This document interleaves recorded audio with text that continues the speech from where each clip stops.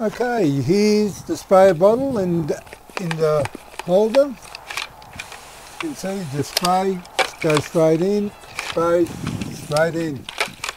No mucking around. We also got a smaller one. This is for 250ml spray bottle, trigger bottle. Goes in same way.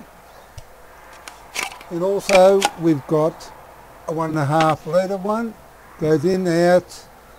You can put any size bottle you want once you made the bracket. As I said, you just pump, pump it up, spray, it's so convenient. So I hope this helps anyone and uh, at a later date I'll show you how you actually make these holders. And well, I suppose that's about it.